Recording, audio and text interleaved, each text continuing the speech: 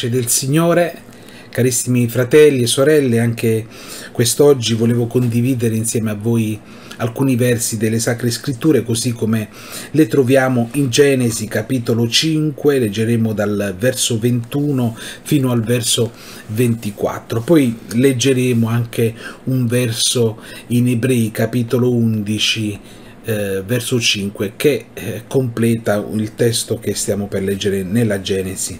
Enoch visse 65 anni e generò Metusela. Enoch, dopo aver generato Metusela, camminò con Dio 300 anni e generò figli e figlie. Tutto il tempo che Enoch visse fu di 365 anni. Enoch camminò con Dio, poi scomparve perché Dio lo prese. E questa una bellissima testimonianza, anche se raccontata brevemente nelle sacre scritture, ma una bellissima testimonianza di questo uomo di Dio, Enoch. E la sua vita, la sua storia viene un po' inserita, il suo nome viene inserito nella lista degli eroi eh, della fede, dei campioni della fede. Al verso 5 del capitolo 11 degli ebrei leggiamo che per fede Enoch fu rapito perché non vedesse la morte e non fu più trovato perché Dio lo aveva portato via. Infatti, prima che fosse portato via, ebbe la testimonianza di essere stato gradito a Dio. Ebbe la testimonianza di essere stato gradito a Dio. Per questo motivo fu portato via, fu preso, fu rapito dal Signore. Scomparve, non fu più trovato Enoch. Eh, in Genesi abbiamo letto che Enoch camminò con Dio per 300 anni.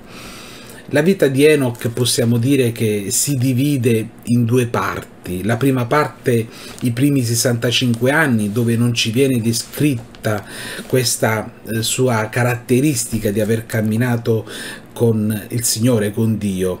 Probabilmente visse la sua vita, la sua vita come tutti gli altri, una vita normale, una vita mondana. Ma eh, dopo questi 60, i primi 65 anni c'è questa testimonianza. Camminò con Dio per 300 anni. La sua vita fu quindi di 365 anni. La prima parte di 65 anni e la seconda parte che si distingue mm, per aver camminato con Dio appunto per 300 anni. Ma cosa significa? Enoch camminò con Dio. Cosa significa oggi camminare con Dio? Beh, il verso subito dopo, il verso 5 in Ebrei 11 che abbiamo letto, che riguardava proprio appunto questa testimonianza di Enoch, ci dice appunto che eh, è impossibile piacere al Signore se non abbiamo la fede. Quindi una caratteristica necessaria, fondamentale, affinché possiamo eh, camminare con Dio, possiamo piacere al Signore, possiamo essergli graditi, è avere fede. Or senza fede è impossibile piacergli poiché chi si accosta a Dio deve credere che Egli è e che ricompensa tutti quelli che lo cercano.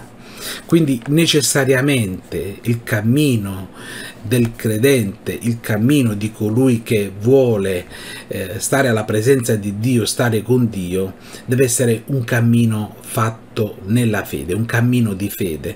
Senza fede è impossibile piacere a Dio. Enoch camminò con Dio. Enoch ripose tutta la sua fede in Dio, tutta la sua fiducia nel Signore. Un'altra caratteristica che volevo condividere con voi eh, e che eh, caratterizza colui che cammina con Dio sicuramente è la santità, è la santificazione.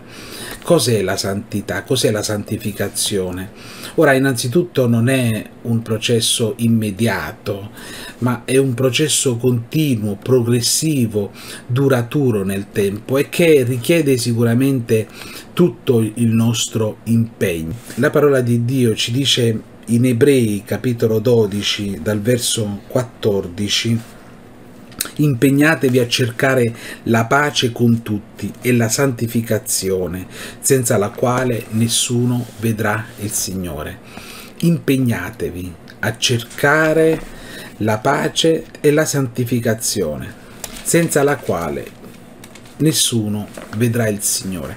Quindi è un impegno, è un impegno per poter allontanarci dal male, perché la santificazione è proprio questo, allontanarci dal male, dal peccato, da tutto ciò che è contro la volontà del Signore, da tutto ciò che è contro eh, i principi così come Dio ha stabilito e a noi sono stati rivelati attraverso la parola di Dio. Eh, il cammino di santificazione è un cammino che distingue colui, eh, scusate il gioco di parole, che cammina con Dio.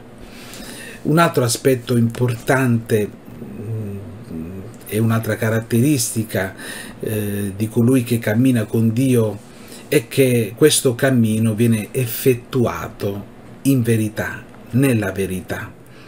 La parola di Dio, eh, Gesù infatti dirà nell'Evangelo di Giovanni capitolo 8, leggiamo che voi conoscerete la verità e la verità vi farà liberi. E in questa libertà di animo, di spirito, abbiamo potuto sperimentare davvero questa meravigliosa verità, che ha dato certezza, fermezza nei nostri cuori. Tra l'altro Gesù testimoniò di se stesso dicendo proprio che io sono la via, la verità e la vita. Quindi il nostro cammino deve essere fatto nella verità, bandita ogni menzogna, ogni ipocrisia, ogni cosa che è contraria alla verità vogliamo davvero allontanarla dalla nostra vita. Per poter camminare con Dio è necessario camminare in verità, avendo avuto lo spirito della verità, sì perché Gesù testimonierà proprio questo, eh, dopo aver affermato che egli stesso era la via, la verità e la vita, ma che comunque eh, da lì a breve sarebbe asceso al cielo, avrebbe lasciato i suoi, Gesù testimoniò che avrebbe mandato lo Spirito Santo, il Consolatore, il Paracletos, che avrebbe guidato nella verità il suo popolo, la sua Chiesa, eh, i suoi discepoli lo spirito di verità che il mondo non può ricevere, ma che voi avete ricevuto, ma che voi state per ricevere. Questo dirà Gesù ai discepoli. Noi abbiamo ricevuto questo spirito di verità che ci guida nella verità, quindi vogliamo davvero allontanarci da ogni forma di menzogna, da ogni ipocrisia. Le caratteristiche dell'uomo, della donna che camminano con Dio. Enoch, una bellissima testimonianza, non ci viene descritto detto tanto della vita di Enoch, non ci vengono descritte le sue azioni, ciò che fece, le sue opere, i suoi servizi per l'Eterno, eh, le sue testimonianze, le sue predicazioni, ma in sintesi, in breve, ci viene detto che fu un uomo fedele, un uomo gradito a Dio, possa essere anche la nostra vita gradita a Dio, possa essere anche il nostro cammino gradito a Dio.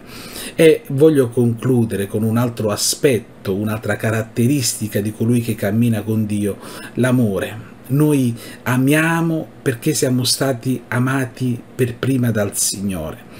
Noi non conoscevamo il vero amore, noi non potevamo davvero essere consapevoli della potenza, della forza eh, che l'amore di Dio invece ci ha rivelato. L'amore di Dio ha conquistato letteralmente i nostri cuori.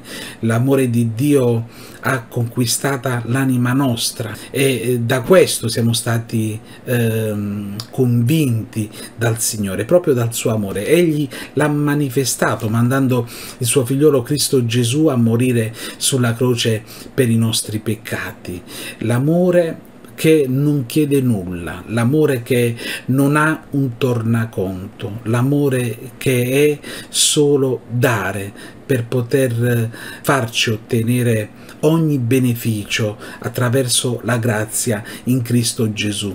Attraverso questo dono, e cioè il dono del suo figlio Cristo Gesù, noi abbiamo ottenuto salvezza, liberazione, vita eterna e la possibilità di camminare durante questo soggiorno terreno un cammino vicino al Signore, essendo da Lui consolati, guidati e aiutati. Quindi vogliamo davvero esserne grati al Signore, ma non di meno noi abbiamo ricevuto questo amore, ma il Signore ci chiama a responsabilità e ci chiama ad usare lo stesso amore che noi abbiamo ricevuto verso gli altri, quindi vogliamo continuare ad amarci gli uni gli altri, ad amare il nostro prossimo, così come anche Dio ci ha amati. Questa, questo regola eh, la condotta di vita, regola i sentimenti del credente, del cristiano, a partire dalla sua casa, dalla sua famiglia e poi eh, questo amore, questo sentimento, questo buon sentimento eh, sarà anche riversato sul nostro prossimo.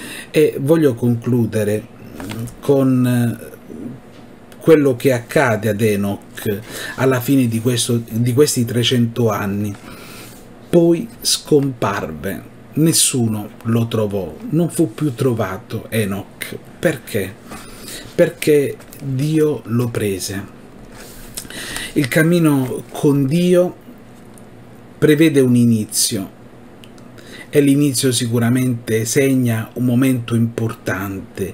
Chi di noi credenti non ricorda il momento in cui abbiamo accettato Gesù, accettato Gesù nel proprio cuore, nella propria vita? Chi non ricorda la liberazione eh, attraverso il perdono dei peccati, chi non ricorda quella pace, quella gioia. Ma se bello è l'inizio, ancora più gloriosa è la fine, perché Dio prese Enoch e Dio prende Enoch per benedirlo, per dargli riposo, per dargli un avvenire eterno. Il Signore nello stesso modo verrà, verrà per apire coloro che sono in vita, ma anche coloro che nel corso dei decenni, dei secoli sono morti e darà a tutti quanti un corpo incorruttibile per poter godere l'eternità insieme a Lui, per poter stare insieme a Lui. Il termine, la fine, la conclusione di colui che cammina con Dio è davvero gloriosa. Quindi un invito anche a te, caro amico, cara amica, che stai ascoltando queste parole. Lascia ciò che eh, non ti dà la vera pace, la vera soddisfazione. Eh, lascia ciò che apparentemente produce degli effetti benefici eh, per il tuo corpo, per la tua vita. Lasciati condurre dal Signore, avvicinati al Signore, cerca in, con tutto il tuo cuore di avvicinarti a Lui per camminare con Lui e la tua vita sarà grandemente benedetta e in questa realtà terrena, ma ancora di più nella realtà eterna celeste. Dio possa davvero benedire la sua parola ai nostri cuori, vogliamo insieme glorificare il Signore. Vogliamo concludere questa meditazione con una preghiera, che il Signore possa benedire la sua parola ai nostri cuori e vogliamo intercedere per quanti eh, si affidano alle nostre preghiere. Signore, vogliamo benedire il tuo nome, consapevoli dei grandi benefici, Signore, della tua grazia, del tuo amore. Grazie per Cristo Gesù che tu ce lo hai donato, perché attraverso il suo sangue noi abbiamo avuto la remissione, il perdono dei nostri peccati. Grazie, Signore, perché in questo cammino, Signore, tu ci hai consolati, ci hai benedetti, Signore, e hai aperto le nostre menti e i nostri cuori, Signore, a ciò che non potevamo né conoscere conoscere né sperimentare, Signore. E noi ti chiediamo che tu possa continuare a salvare anime, Signore, anche in questo momento di grande difficoltà, Signore, mentre questa pandemia, Signore, attraversa tutta l'umanità, tutto il genere umano in questa generazione, Signore, noi crediamo, Signore, che tu sei l'onnipotente, che attraverso il tuo amore e la tua grazia, Signore, puoi salvare, liberare e dare vita e vita eterna, Signore, ancora a tantissimi uomini, a tantissime donne. Continua, Signore, a benedire la tua parola che viene predicata anche attraverso questi strumenti, Signore.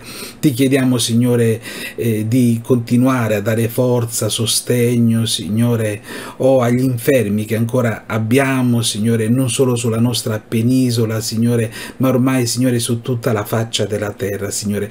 Dai forza, sostegno a tutti coloro che si adoperano, Signore, eh, in modo particolare gli infermieri, i medici, Signore, le forze dell'ordine. È una preghiera, Signore, per le nostre istituzioni, per il nostro governo Continua, Signore, a dare forza, Signore, continua a dare, Signore, intelligenza, saggezza per affrontare ogni cosa, Signore, nel tuo timore. Benedici, Signore, benedici il tuo popolo, la tua Chiesa, Signore. Aiutaci, Signore, vogliamo continuare a camminare, non vogliamo fermarci, Signore, anche se i nostri locali sono chiusi, anche se non possiamo incontrarci eh, personalmente, fisicamente, Signore, ma nello stesso tempo sappiamo che noi continuiamo a camminare perché tu sei presente nelle nostre case, nelle nostre vite. Aiutaci, Signore, darci grazia, Signore, davvero di continuare a camminare alla tua presenza. Ogni cosa, Signore, noi la chiediamo in Cristo Gesù che è benedetto in eterno.